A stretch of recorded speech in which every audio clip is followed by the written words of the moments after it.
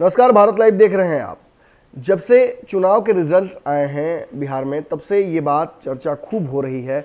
हमने भी इन बातों पर चर्चा की है कि कांग्रेस की वजह तेजस्वी यादव इस बार सीएम बनने से रह गए। राजद ने अपना जो परफॉर्मेंस था, वो पिछली बार से भी बेहतर रखा, लेकिन कहीं ना कहीं दो पार्टियाँ, एक नीतीश कुमार की पार्टी जो जदयू है उनको, उसको अच्छा खासा नुकसान हुआ। वहीं दूसरी तरफ़ हम देखते हैं, दूसरे दल गठबंधन की तरफ़ तो कांग्रेस सत्तर सीटें लेकर गई थी चुनाव में, लेकिन उन्नीस सीटों पर ही मात्र सिमट कर रह गई।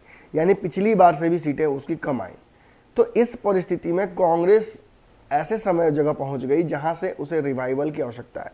बिहार की वैसे, बिहार में वैसे भी कांग्रेस की स्थिति बहुत अच्छी रही नहीं है। 2015 में कांग्रेस को एक बार रिवाइवल ज़रूर मिला था। अशोक चौधरी के नेतृत्व में 27 विधायक जीत कर आए थे, लेकिन महागठबंधन का जो एक वो साझा वोट बैंक था लालू और नीतीश का, वो कांग्रेस को काफ़ी फ़ायदा पहुँचा गया। इस बार चूँकि नीतीश कुमार नहीं थे, हमने पहले भी आपको विश्लेषण में बताया था कि नीतीश कुमार का एक जो बड़ा वोट बैंक था, वो भी कहीं ना कहीं कांग्रेस को नहीं मिल रहा है। और इस बार कांग्रेस ने प्रत्याशियों के चयन में भी काफ़ी गड़बड़ी की। इसकी वजह से कांग्रेस के जो रिज़ल्ट है, वो काफ़ी बिलो पार रहा।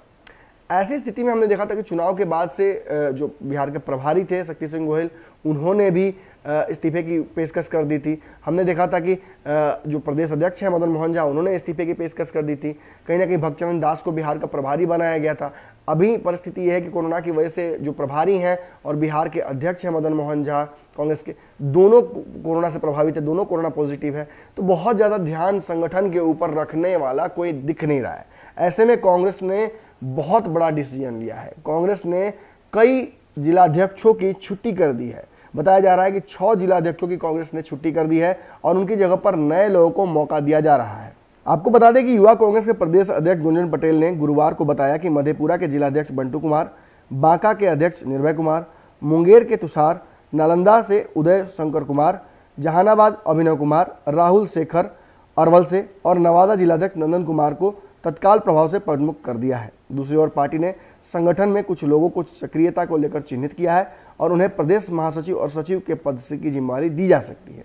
उन्होंने बताया कि पार्टी से मिली जानकारी के अनुसार रविंद्र कुमार, इमाम अली, मृणाल कामेश, जितेंद्र कुमार को महासचिव नियुक्त किया गया है, जबकि सचिव पद पर अंजनी कुमार भारती, दुर्गेश गुप्ता, चौधरी चरण सिंह, मिथिलेश कुमार, आदित्य कुमार, आनंद आलोक, मोहम्मद जावेद और मोदीनगर और वरुण पासवान को तैनात किया गया है। बता दें कि गुरुवार को किया गया यह परिवर्तन बकायदा पार्टी के तरफ़ से आदेश जारी करके हुआ है। युवा कांग्रेस के राष्ट्रीय अध्यक्ष श्रीनिवास बी ने निर्देश जारी करते हुए यह परिवर्तन अमले में लाया है। अब जिस दिन से बिहार में कांग्रेस का रिज़ल्ट उस लायक नहीं हुआ जितनी सीटें लेकर वो आई गई थी, उतनी सीटें लेकर वापस नहीं आ पाई चुनाव के बाद, तब से ही ये चर्चा हो रही थी कि पार्टी में अमूल चूल परिवर्तन करना पड़ेगा। इसकी शुरुआत युवा कांग्रेस के इन पदाधिकारियों से कर दी गई है। बताया था, आने वाले समय में बिहार में प्रदेश अध्यक्ष बदलने को लेकर भी कांग्रेस में कवायद शुरू हो गई। कुछ दिनों पहले तारिक अनवर का नाम भी प्रदेश अध्यक्ष के लिए सुझाया जा रहा था। तो बदली परिस्थितियों में कांग्रेस भी अपने आप में बदलाव कर रही है। ये देखना लाजमी होगा कि आखिर कांग्रेस किस तरीके का बदलाव करती है आगे चल के। फ़िलहाल छः छः जो जिलाध्यक्ष है युवा के, उनको हटाकर उनकी जगह पर किसी और को रखने के लिए नियुक्ति कर दी गई है। देखते हैं आगे क्या क्या होता है। जो अपडेट होगा वो भारत लाइव आपको लगातार देता रहेगा। धन्यवाद।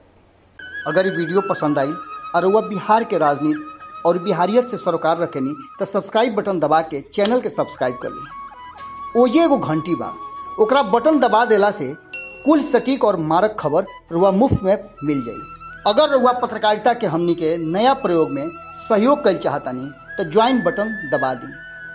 पेटीएम नंबर नोट कर ली nine three eight six eight one six seven double zero. धन्यवाद।